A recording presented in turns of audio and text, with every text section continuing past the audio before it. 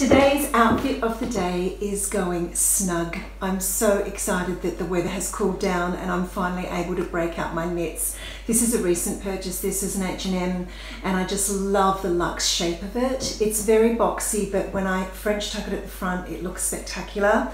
The sleeves, love the deep cuff on the sleeve. Love when you roll it up, it gives this beautiful silhouette.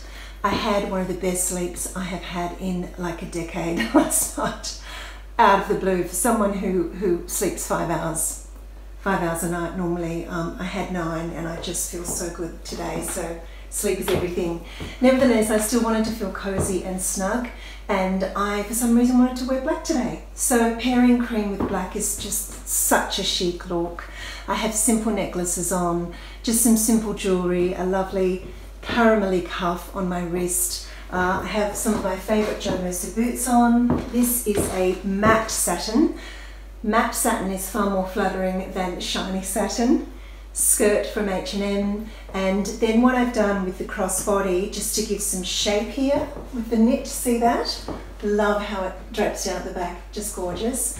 What I've done is I've actually put, I was going to do a black belt but I thought because I have so much flat colour going on just essentially black and cream. I thought I'd put a little bit of a dash of excitement here at the waist, a little bit of texture and a little bit of pattern with this pony skin belt. And it's just a nice little glimpse, it's not too much, and of course you can't see it at the back.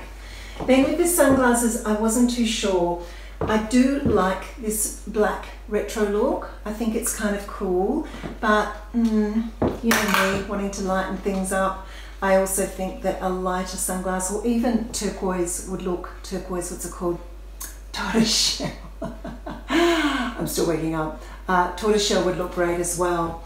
Yeah, I think this gives it a more sort of, I don't know, I feel like I'm out of a James Bond film, you know, with these on. So I'm thinking maybe I'll go for black today. And also what I did, just because everything is so tonal and so flat, I added a lovely little scarf just at the back of the bag, just to give a little bit more of a luxe look.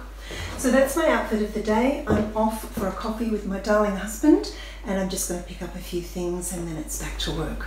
Hope you're having a great day.